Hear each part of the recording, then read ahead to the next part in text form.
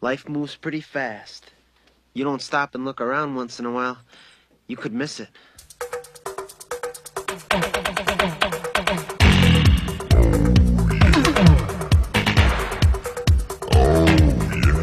The first trailer we're going to review here is No Time to Die, the 25th installment of the James Bond film series. So let's check out the trailer.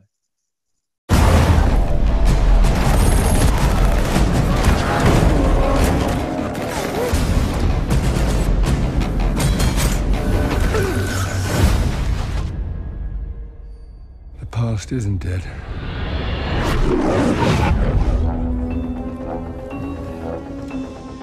James, fate draws us back together. Now your enemy is my enemy. His name is Safin. And what does he want? Revenge. Me. When her secret finds its way out, it'll be the death of you. You can imagine why I've come back to play. There's a young lady in Santiago I want you to meet. You're late. When you're ready.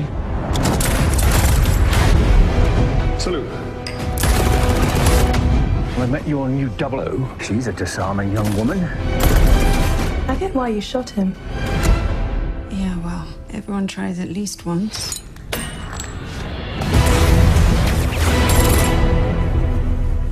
James Bond. We both eradicate people to make the world a better place. I just want to be a little tidier.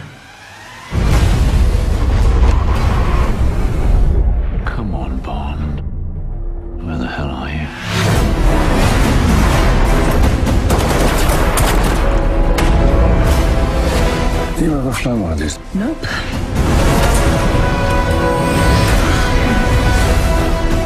Harder to tell the good from bad, villains from heroes these days.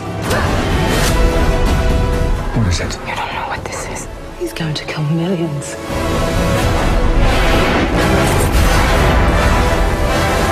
If we don't do this, there will be nothing left to save.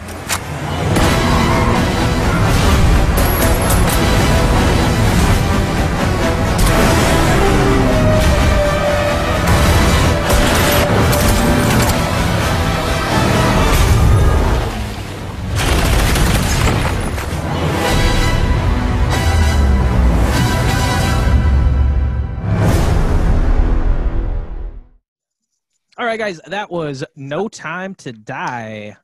Let's get right into it here. Um, I'm going to go last. I will popcorn to Corey.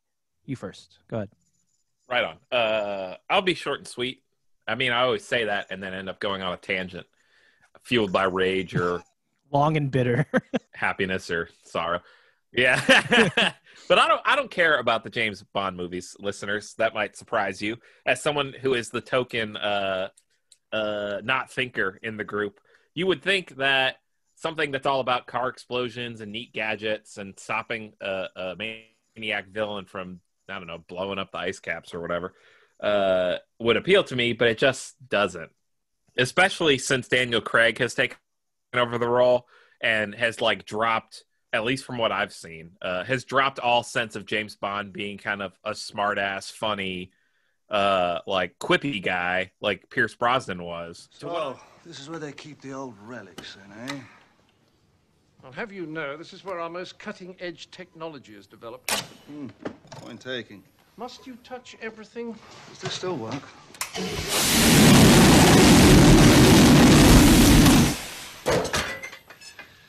Now look, So where is this cutting-edge stuff?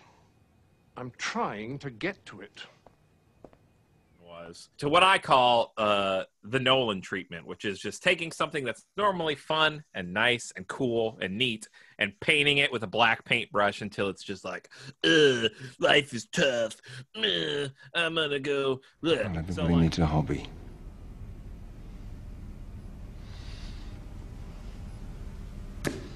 So what's yours? Resurrection. So like as long as Daniel Craig is a 007, I I just don't care. Like uh, Rami Malek is in this, so good for him. Uh, if they decide to make a to make the female femme fatale in this the next 007, good for her. Maybe I'll check that out. But uh, it's a this is not for me. I don't got any research because I'm I'm you know I'm I'm Kugler. I'm the guy who doesn't uh doesn't do the research. I'm the cool guy.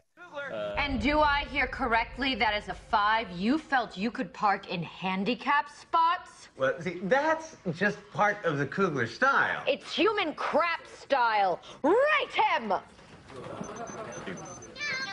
Okay, but that's low. so that being said, I will kick it to Sanford to see what he has to say. Are you saying that you're a number five, but I'm a number four? I'm like your Annie Edison. Yes. Uh, like doing your itinerary. Correct. I already expressed my opinion uh, of modern James Bond on the podcast uh, when we talked about the King's Man, which is still hard for me to say.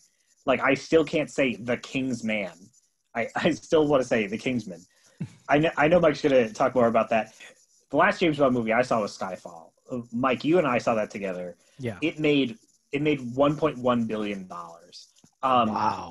Spectre, which you know came out after that in 2015, which was considered like less suc- was considered like oh like this hasn't been as successful. It still made almost 881 million dollars. So that's why they keep making these movies, and that's why they're willing to back up the truck of money to Daniel Craig's house. He keeps saying that he doesn't want to do any more of them.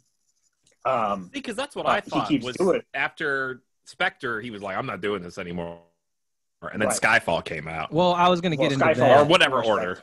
Um, yeah. I was Yeah. going to get into that Um, just from my notes. Uh, if just to touch on it real quick, just because I feel like it's pertinent now than it is, will be later. So, Yeah. um, Yeah, yeah. on on the Wikipedia thing, you know, they kind of outlined the the speculation of all that. So uh, after Spectre, there was speculation that it was Daniel Craig's final Bond film. Immediately after the film's release, Craig, Craig had complained about the rigors of performing the part, saying he would rather quote slash his wrists than play Bond. Jesus. Um, and then in May 2016, it was reported that Craig had received a 100 million dollar offer from Met- Metro Goldwyn Mayer Meyer Pictures to do two more Bond films, Mm. but he turned it down, suggesting that Spectre may have been his last. Now, this was just reported because in October of that year, Craig denied having made a decision whether or not he wanted to play Bond, and he denied that a 150 million dollar was uh, offer was ever offered to him for the next two films. So, I mean, I feel like it was though that you know he didn't want to do it anymore. He did probably didn't even like uh, the way the character was going, but then the movie studio was like, "Well, we're gonna throw uh, a bunch of money at you. How about you do this then?" And he's like, Yeah, uh, "Let me That's- think about it," that's and then took all the money. that's that's hundred percent what hap- what happens. Yeah. uh, Daniel Craig has got a record saying that he does not like, uh, n- not just what you said. He doesn't like filming these movies because it's too rigorous. He doesn't really like Bond as a person, and I think he's reacting to the same thing that makes me not like these movies. Uh, is that it's very much the original character, James Bond, like from the books, where he's like this stone cold assassin. It's not film Bond, Yeah. like from the previous movies, where where he's he's goofy. And yeah, it's not like you like know? in like Flint esque. like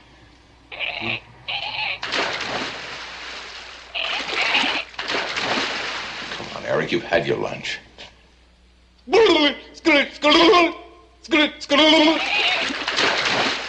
Now, sir. What's on your mind? Esque. like he's he's kind of he's really a jerk in these movies uh and i don't understand why we're supposed to like him that much um it's like oh no like in skyfall like oh no like he got shot and like he's having a hard time like his confidence is shaken like and now he's an alcoholic like i don't care he's not Exactly, yeah. you know You look like hell. When's the last time you slept? you know Uh, and he and he's kind of boring. I see you filled out most of the paperwork. Just a few questions to complete your evaluation, if I may. Do you exercise? When I have to. Do you consider your employment to be psychologically stressful? Sometimes. How much alcohol do you consume? Too much. Um, but yeah, like that's the thing. As far as this movie itself is concerned, though, so that's that's all me to say. Like this is the hype train podcast. I can't be hyped for this. You know, like I just personally cannot be. Corey, you said it's kind of a surprise that you don't like them because you're Mr. Turn Your Brain Off and watch movies. You're right. These movies are dumb, but I think part of it is they pretend they're not dumb. You know, obviously, I think everyone agrees that Casino Royale, the first Daniel Craig Bond movie, is the Yeah. best of the Daniel Craig Bond movies. Uh, the first one, it's like it's like oh, like like there's there's more to Bond this time. Like like this is the mythos. This is why he does what he does. And then like Skyfall, it's like oh, like he's got a real character arc. We have the worst act any big budget movie ever, where James Bond just goes back to his old house and and fights Javier Bardem there for some reason. yeah, yeah. Um,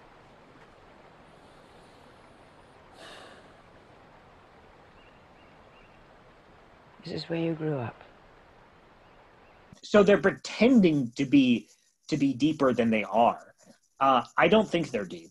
I, I don't. I mean, I don't even think Casino Royale's deep, and that's a pretty good action flick. I think that's part of the problem. Is is these are dumb movies that pretend they're not dumb.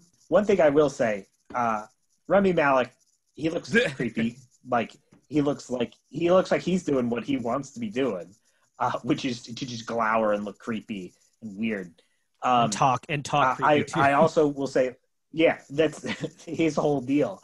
Um, I thought it was weird. Daniel Craig and Ana de Armas, who we saw kicking butt in at the end of this trailer, um, starred together in uh, Knives Out, and Knives Out is a great movie. Yeah, that movie's awesome. So, um, so that's a that's a bright spot. Kind of coming out the gate real negative this episode, everybody. Sorry about that. Popcorn. Uh, over to you, Mike. Uh, yeah. Uh, um, we are maybe we are coming out negative, uh, but this is just the reason I wanted to do this trailer itself was just this is such a big budget movie. It's a big film, big franchise that comes out, and I feel like they're like I feel like we're not alone in feeling this way about Bond, uh, about these uh, modern day Bond films. Like you're right, Matt. Like they try to go deeper, like especially uh, when we did see Skyfall, and it was like going into James Bond's house as a kid. Wh- who cares? Like, wh- why are they delving into James Bond as a character? Like, I was I don't ca- I was so annoyed. yeah, and like I don't like the old James Bond films. Like I was a big fan. I loved Roger Moore and Sean Connery as James Bond. They never went into like how you know how their feelings and you know if they're okay mentally. Like they were James friggin' Bond. You know, like they were the spy. They were super smooth.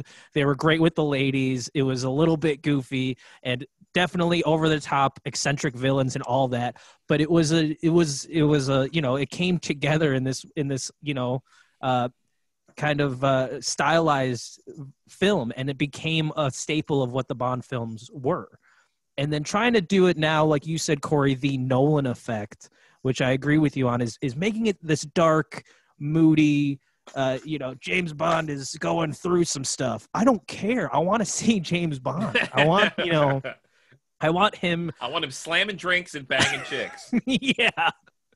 But and we don't get that and it sucks. But you know, looking at Daniel Craig's kind of uh quotes already saying how he doesn't want to do it. Maybe this is good because they the this is reported to be his final film as James Bond. Maybe they can get back to it. I mean, like we said back in if anyone did listen to our review of The King's Man, uh it the Kingsman movies, the first and second one, shows that you can have these spy films be like that and how they were and bring it to a new audience and do um, new creative things with it and still make it seem fresh, you know?